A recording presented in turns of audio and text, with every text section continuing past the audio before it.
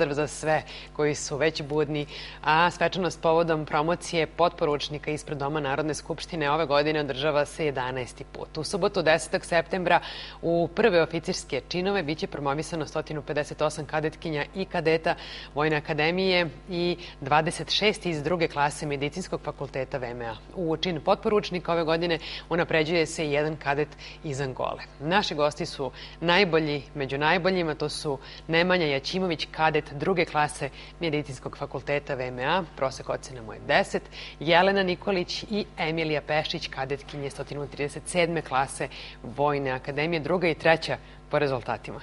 Dobro jutro, čestitam na, na ovom, ovim rezultatima i jeste li spremni? Ajde odmah da vas pitam za subotu. Jasno, mi se već uveliko spremamo za promociju. Ona će se održati u subotu u 11 časova ispred Doma Narodne skupštine i ja, se verujem, ja verujem da će što više ljudi doći da nas podrži u, u tom trenutku. Sigurno hoće, uvek je, je to puno ispred Skupštine. Jelena, Emilija?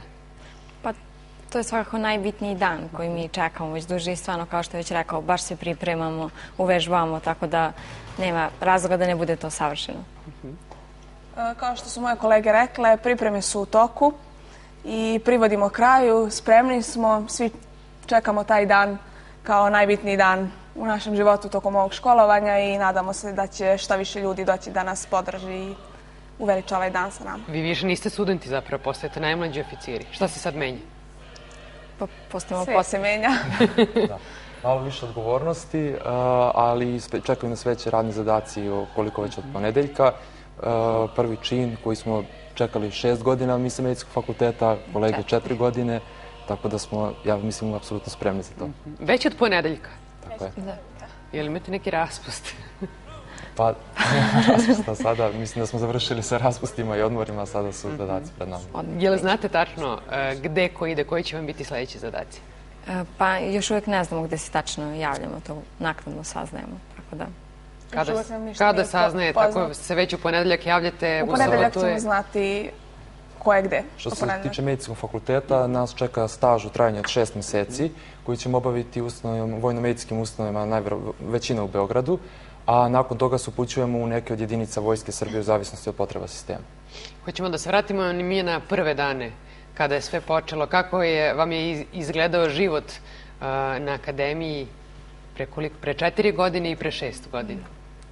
Pa to nas obično ljudi pitaju, negde smatraju da je najteži bio taj početak, to prilagođavanje. Ja mogu da kažem da posle šest godina nekom se čini da je kraj bio malo teže jer već snage ponestaje posle šest godina, tako da smo baš bili nastrpljivi da mm -hmm. privedemo kraj ovo školovanje. Kako je izgledalo iz, iz vašeg ugla, Deviki? Pa svakako da je u početku uh, bilo malo teže, zato što dođemo i susretimo se sa nekim novim stvarima, novim iskustvima i moramo malo da se prilagodimo i sve, ali opet, što je rekao kolega, na kraju shvatimo da nije toliko teško i da naravno da se može. Emilija? Da, pa kao što svi kažu, taj početak je uvek najteži. Dok se čovek prilagodi i navikne na neke nove stvari, nove obaveze, pritom, pošto je vojska u pitanju na disciplinu, odgovornost, međutim, godinama sve to dođe na svoje mesto i evo. I šta vam je bilo godine... najteže da prihvatite? Ili toliko je bilo davno da ne možete ni da se setite? Pa u mom slučaju da, sigurno. Možda rano ustajanje. Zapravo da, to jeste bio jedan od najvećih problema, zato što svaki dan ustajanje u šest je bio onako, bilo onako nešto što, mm -hmm. što do, do sada nismo imali mogućnost da, da e, tako živimo, da tako A da, to ali zato nema navike. vi nas potpuno razumete, tako da... da. Potpuno, zato i pitam da li je to bilo najteže, zato što znam kako, je, kako to izgleda. Koliko je bilo teško uskladiti obaveze na terenu i učenje i ostvariti rezultate kakve vi imate, vi ste najbolji od najboljih. Da, pa evo ovako, pošto sam ja smer pešadija, uh, mogu da kažem da, pošto sam imala mnogo terena, da, da je dosta teško uh, uklopiti sve svoje obaveze. I, međutim, lako se postigne samo ako se želi. Bilo je mnogo terena, e, ispita, ali na kraju sve to dođe na svoje mesto. Mm -hmm. Šta vam je teže padalo, život na terenu ili obaveze u klubi?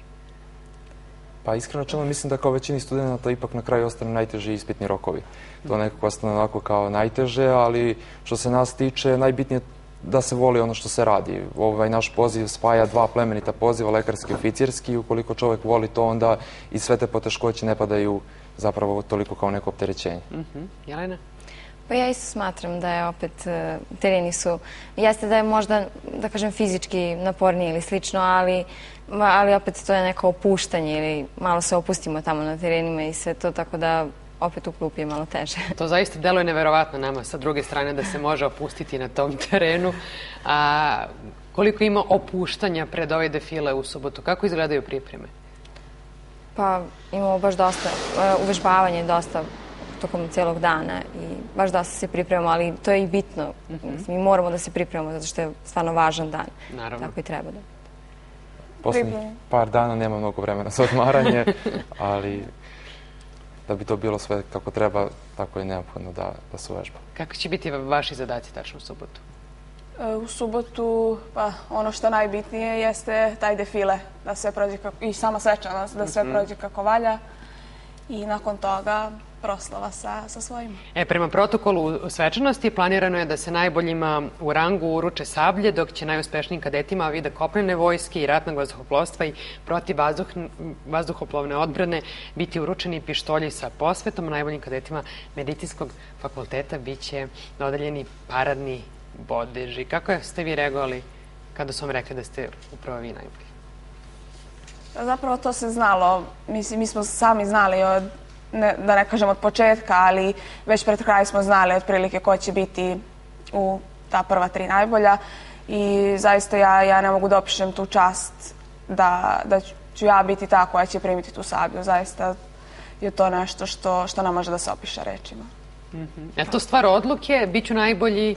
Nije, nije slučajnost? Nije, ne. E, pa mislim da nije ni slučajnost. Mislim da, da neko ko zaista voli ovaj poziv e, se posveti ovome i jednostavno da sve o sebe i samim tim iz toga proističu rezultati. Mm -hmm. Mislim da to nije bilo od početka ja hoću da budem najbolji i to je to, zato što i sa takvim stavom se ne može doći do najboljih rezultata.